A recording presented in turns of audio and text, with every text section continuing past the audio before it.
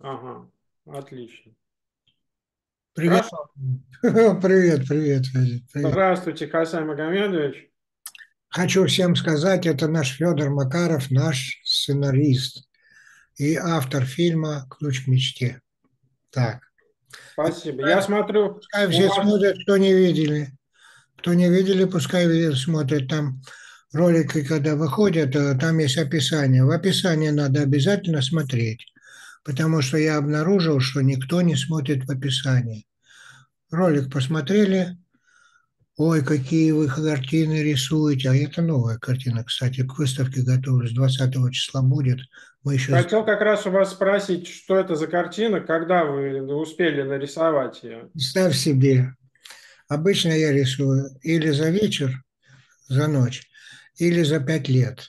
Вот эту я сделал за эту ночь. Видишь, голос сел, из-за краски надышался. Видишь? Хорошая, правда? Отличная картина. Мне нравится, что она такая размытая, какая-то вот прозрачная, то ли явь, то ли какая-то... Как говорится, вся соткана из света. Ха! Сам себя не похвалишь, но ты меня уже хвалишь. Спасибо. В лунном сиянии в таком. Спасибо. У Здорово. меня есть классный афоризм. Кто муза для художника? Кем восторгается художник? Или кто восторгается художником? Ясно. Хотел вас спросить о менее таких привлекательных вещах. Э, Многие обращаются, ситуация очень тревожная, психологически очень тяжелая для людей. То одно, то другое. Как э, у вас все это происходит? Часто ли к вам обращаются?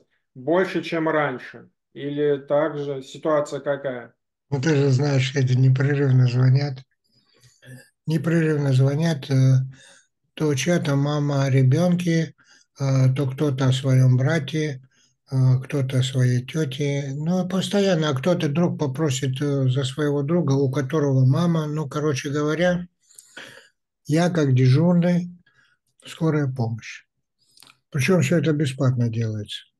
В WhatsApp мне звонят, э, и и я там пишу, что у вас, как, ну, мне надо с вами поговорить, мне сказали, только вы мне поможете. Причем почему-то ко мне попадают уже все, которые на лекарствах давно сидят, какие-то сложные, сложные пациенты. Мне сказали, что только вы поможете. Я говорю, я не лечу никого. Я занимаюсь обучением снимать стресс, а это помогает в выздоровлении, какая бы ни была болезнь. Ну, вот такая вот история. А Я- с чем чаще обращаются? Вот сейчас вы можете же оценить, э, как раньше к вам обращались, и вот сейчас, в настоящее время, как-то можно классифицировать э, по направлениям? С чем Конечно. чаще всего?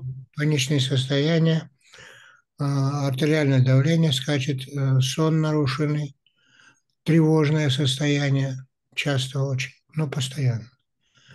Вот. Но таких нету, которые хотели бы научиться использовать стресс как стресс-трамплин для решения ранее нерешаемых вопросов.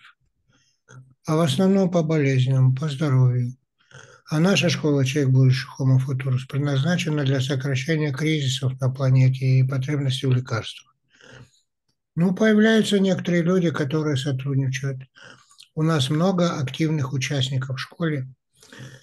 Такие прекрасные люди, мыслящие, потрясающие. Я каждый раз хочу это отметить, чтобы все слышали, что наша школа, школа человечности, школа человек будущего, на самом деле в настоящем открывает человеку те знания, которые позволяют ему использовать самую высшую из энергий, энергию стресса.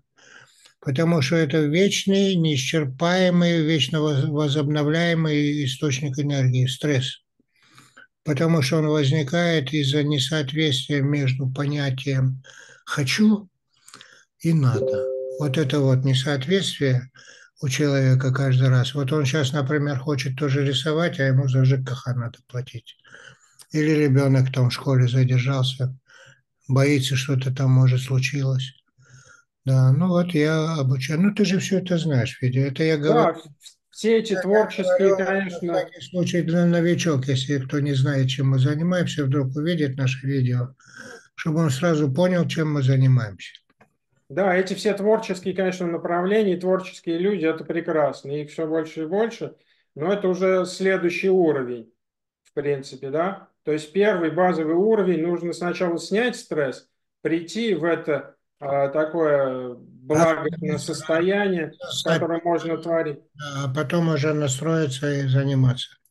А Обнулить как сначала помочь вот на этом, на критическом уровне, когда у людей тревожность, паники, страхи и так далее? За сколько это можно помочь человеку примерно в среднем, если не брать какие-то хронические случаи? И как вы это делаете?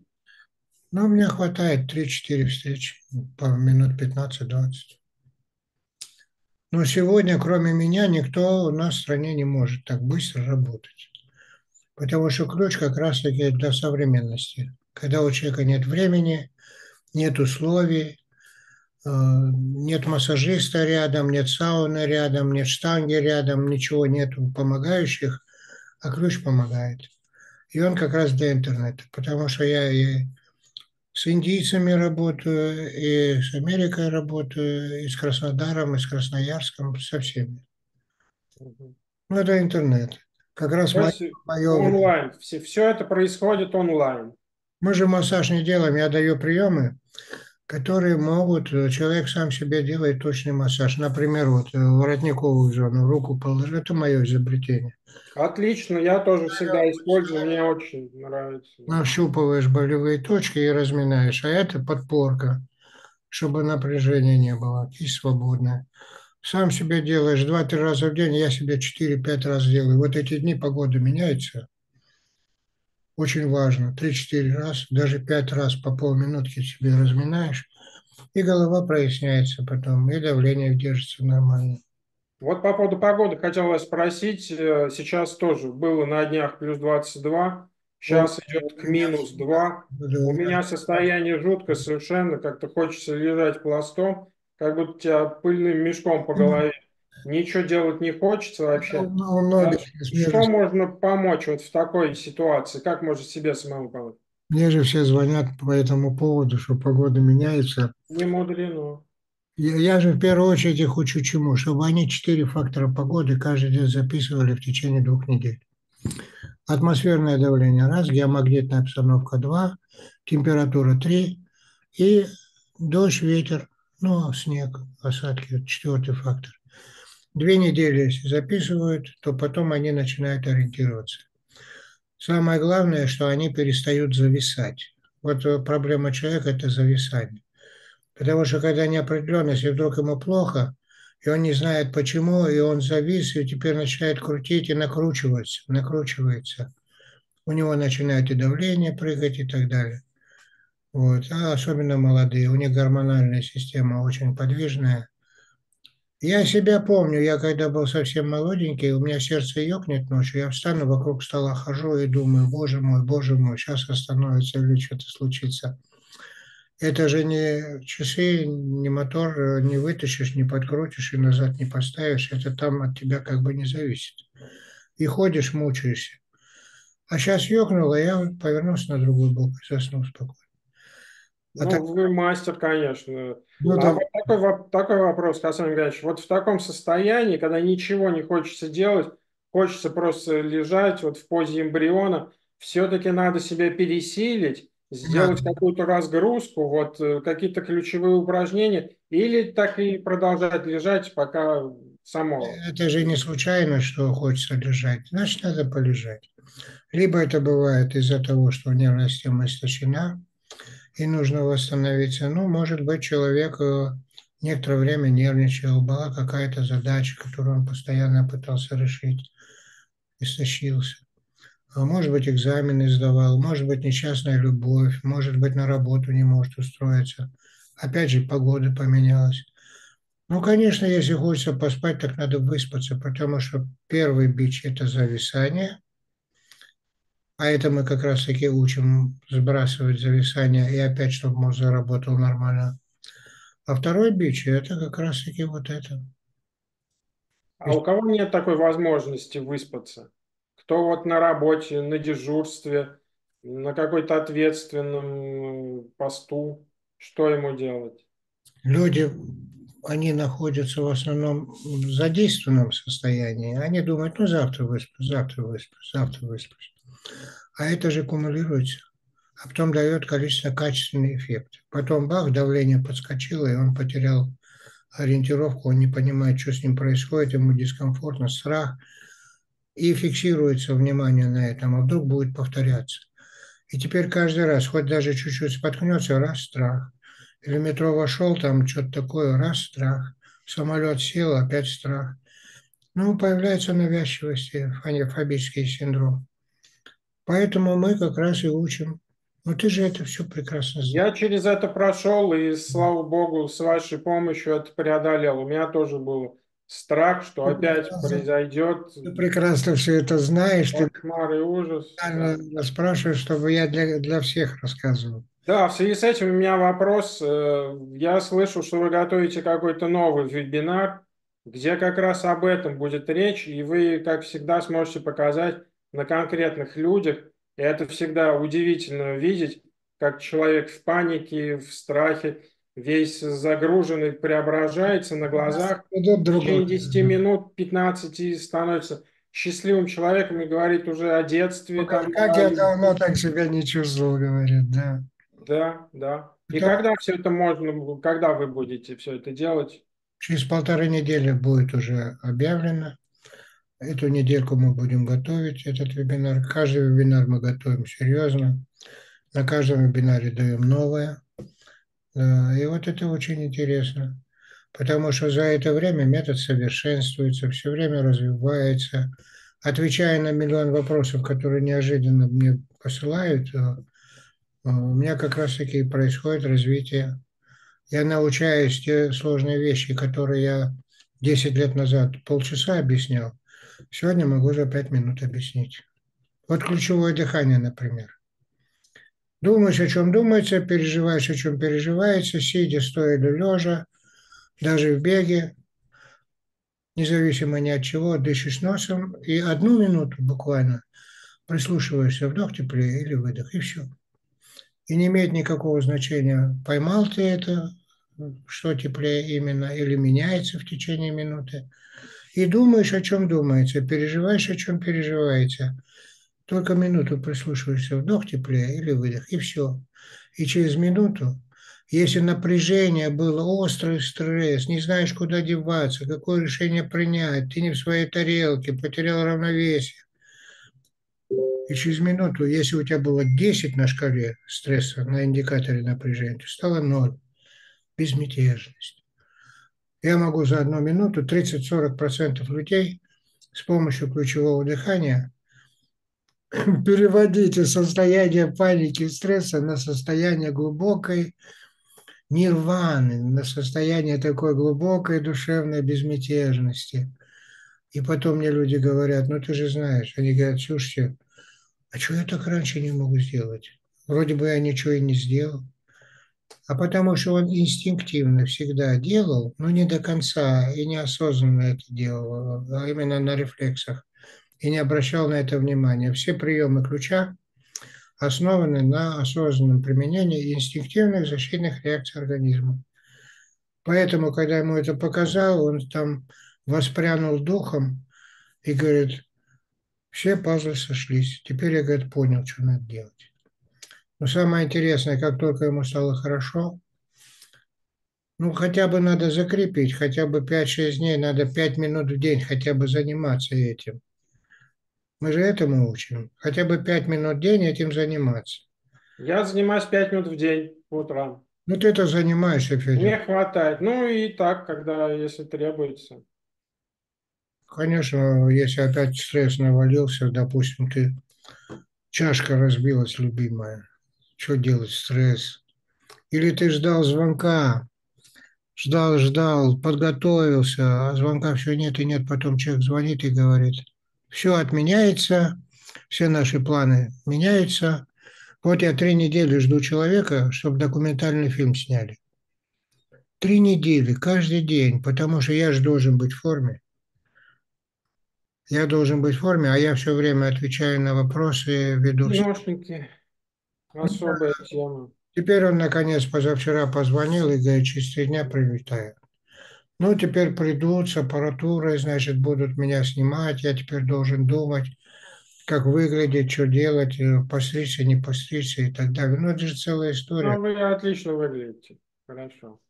Ну, Вот да. чем мне нравится, знаете, Хасан Гайч хотел сказать, чем мне нравится ключ, вот своим креативом, конечно, возможностью творческого использования. Я вот сейчас начал ходить в бассейн и такой придумал для себя сам аква-ключ. Такой что-то среднее между аква-аэробикой и ключом в воде. То есть, ну, я знаю, я хорошо, я с детства плаваю, умею разные там стиль, э, брас, кроль и так далее. Но потом организм, само тело требует и подсказывает, где-то у тебя жмет, там где-то побаливает, и ты сам придумываешь эти упражнения, так прикольно. Особенно если не обращать внимания, что на тебя люди смотрят другие, думают, что это он там изображает какие-то странные в воде. Если от этого отключиться, то очень хорошо.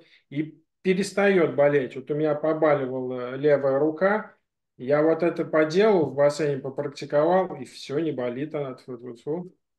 Так что спасибо вам, спасибо ключу. В воде, в воде интересно. Только подумал, что тело поворачивается, и оно начинает легко поворачиваться автоматически. Там и моторные рефлексы легко включаются. Да. Это интересно, да. Ладно, Хасан Гайч, не буду вас больше отвлекать. Давайте вы еще скажите. Значит, в, будет информация об, об вашем новом вебинаре, и мы ее можем разместить внизу здесь в описании под этим роликом. Нет, мы сейчас не можем, мы дату еще не определили. Когда будет?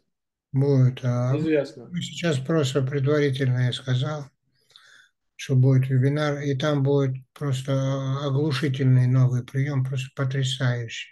Ну, супер. Да, ну, мы каждый день, каждый раз, когда делаем вебинары или бесплатные ликбезы, всегда новые что-то даем. И мне помогают участники нашей школы. Вот как они все подключаются, начинают советы давать, ну, чтобы... Ну, молодцы просто, да. Ну, это целый организм получается. Да. Да. Очень интересно. Да, кстати, я хотел тебе новость сказать. Мы с издателем договорились, все мои книжки заново будут выпускать. Ну, супер. Прям все книжки по новой? Амрита Рус. Амрита Рус. Амрита Рус. Там в свое время была выпущена одна моя книжка «Короткий путь к высоким достижениям», где взять силы для успеха. Давно, давно, очень давно, много лет назад. А сейчас они же мне предложили, а давайте мы ваши все книги выпустим. Ну, замечательно. Потому что их давно нету нигде.